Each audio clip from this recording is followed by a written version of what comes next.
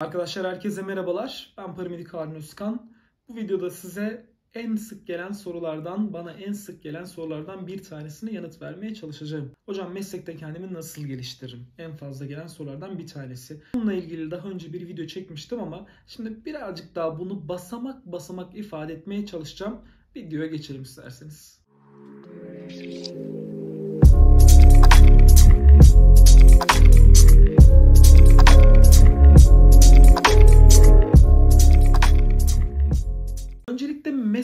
Kendimi nasıl geliştiririm sorusu bence kişinin kişisel gelişimiyle doğru orantılı olmak zorundadır diye düşünüyorum. Benim size söyleyeceğim şeyler tabii ki de kendi kişisel öznel yorumlarım. Siz bunları eğer ki mantıklı bulursanız uygulayabilirsiniz. Evet kişisel gelişim dedim. Neden? Mesleki gelişimde kişisel gelişim doğru orantılıdır.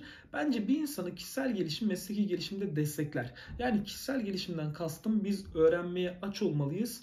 Öğrenmeyi bilmeliyiz okumayı, araştırmayı, kitap okumayı, kaynak taramayı bilmeliyiz ve bu noktada bir hevesimiz, isteğimiz olmalı. Ki zaten kişisel gelişimde önem veren birisinde mesleki gelişimde de önem vereceğini inanıyorum. Yani burada bence temel anlamda mesleki gelişim kişisel gelişimde başlamaktadır. Hali hazırda bir acil sağlık hizmetleri profesyonelinin belli bilgi düzeyinde iletişim kurmayı bilen, empat duygularının gelişmiş ve mesleğine, meslektaşlarına, çevresine bir şeyler katmaya hazır ve bu noktada çaba gösterebilecek potansiyelde olması gerektiğini düşünüyorum. Şimdi bunları ifade ettikten sonra meslekte nasıl gelişebilirim bunları sıralamak gerekirse madde madde ifade etmeye çalışacağım. Birinci madde bence bir acil sağlık hizmetleri profesyoneli mesleğiyle ilgili genel bilgileri yani mesleğinin ne olduğu, geçmişin nasıldı, gelecekte ne bekliyor, vizyon nedir, misyon nedir, mesleğinin gelişiminde hangi evreler yaşanmış bunları bilmesi gerekiyor. Yani mesleğinin tarihini bilmesi gerekiyor. Bununla beraber de arkadaşlar aynı zamanda yasal mevzuatla ilgili en azından mesleğiyle ilgili yasal mevzuatla ilgili belli bir bilgi düzeyine olması gerekiyor.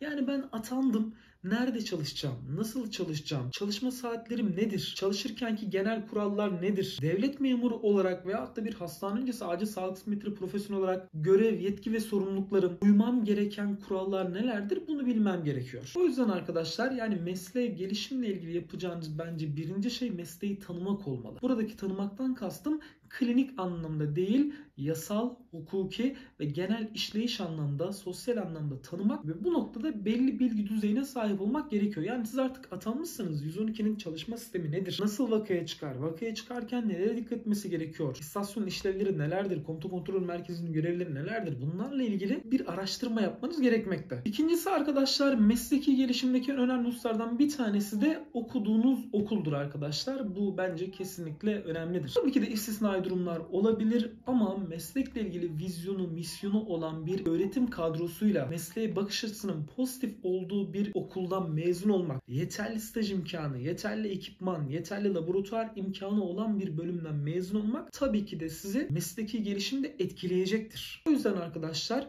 okul hayatınızı olabildiğince verimli geçirmek için elinizden geleni yapmanız gerekiyor. Diğer bir madde ise arkadaşlar atandım hemen teorik bilginin içine dalayın. Tabii ki de teorik bilgimizin olması gerekiyor. Ancak herhangi bir nedenden dolayı atandığınızda kendinizi yetersiz hissediyorsanız ki aslında hissetmemeniz gerekir ama maalesef bir realitede var. Bu noktaya da çok girmek istemeyeceğim.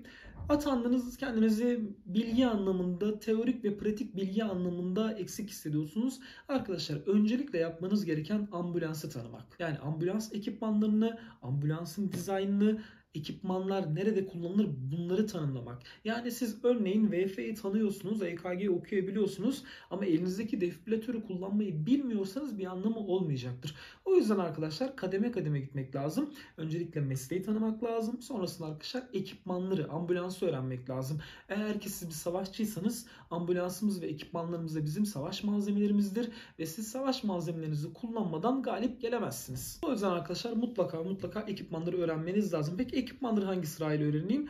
Bence öncelikle arkadaşlar design yani hangi malzeme nerede buna bakmak lazım.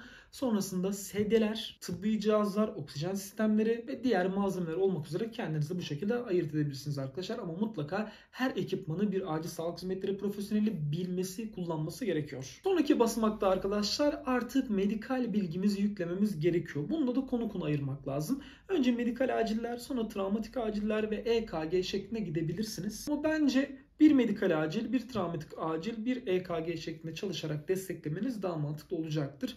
Ve bunu arkadaşlar sürekli tekrar şeklinde kendinize uygun bir çalışma programı yaparak ve vakalarda bunları gözlemleyerek bol tekrar yapmış olursunuz. Burada arkadaşlar bildiğiniz gibi pratik ve teorinin bizde eşit gitmesi gerekiyor. Yani ne teoriniz olup pratiğin olmaması kabul edilebilir ne de pratiğinizin olup teorinizin olmaması kabul edilebilir. Burada arkadaşlar ikisini birlikte yürütmek gerekiyor. Bu yüzden de tabii ki de çok okumak, çok çalışmak, çok pratik yapmak gerekiyor. Diğer bir basamaksa arkadaşlar artık ilaçlara geçmeniz gerekiyor. Yani zaten halihazırda hastane öncesinde kullandığımız ilaçlar bellidir arkadaşlar. Bu ilaçları öğrenmemiz gerekiyor. Bununla ilgili arkadaşlar kendinize bir metodoloji dizayn edebilirsiniz. Yani bununla ilgili de farmakolojiye nasıl çalışmam lazımla ilgili de daha önce bir video paylaşmıştım. İsterseniz onunla bakabilirsiniz.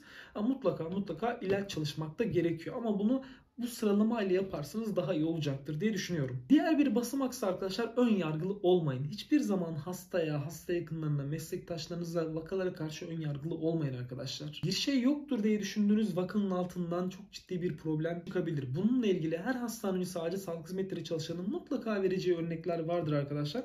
O yüzden ön yargılı olmayın. Hastane ünyesinde bir hastanın bir şey yoktur demek her zaman mümkün olmamaktadır. O yüzden arkadaşlar nacizane tavsiyem ön yargılı olmayın. Meslektaşlarınızdan bir şeyler öğrenmek için hevesli olun. Bu konuda çaba gösterin. Bu da gene kişisel gelişimde ve mesleki gelişimde fayda sağlayacaktır. Diğer ve son madde çok uzun tutmayacağım bu videoyu ve bence en önemlisi arkadaşlar asla ve asla ben oldum demeyin. Bu da bilginin güncelliği bir gündür, iki gündür, üç gündür arkadaşlar. Mutlaka mutlaka yeni bilgiler gelecektir. O yüzden hiçbir zaman ben oldum demek doğru değildir. Meslekte her vakayı gördüm dersiniz ama bir gün öyle bir vaka gelir ki o ana kadar gördüğünüz bütün vakalardan farklıdır. O yüzden arkadaşlar her zaman öğrenmeye açık olun. Ön yargıları kapatıp hem meslektaşlarımızdan hem de kaynaklardan bolca şeyler öğrenmek lazım. Ve arkadaşlar yine asla ve asla gelişimin bir süreç olduğunu unutmamak lazım. Biz hep gelişim bir sonuç olarak düşünürüz ama gelişim bir süreçtir arkadaşlar ve bitmeyen bir süreçtir. Bu süreç hiç bitmeyecek. Biz de bu süreci devam ettirerek hem kendimize hem mesleğimize hem de meslektaşlarımıza bir şeyler katmaya çalışarak mesleği, ünvanımızı yüceltmeye çalışacağız. Ben paramedik Harun Özkan elimden geldiğince kısaca tamamen ve tamamen kendi kişisel görüşlerimle mesleki gelişimle ilgili bazı sıralamalar, bazı basamaklar ifade etmeye çalıştım. Beni dinlediğiniz için teşekkür ederim. Kendinize iyi bakın.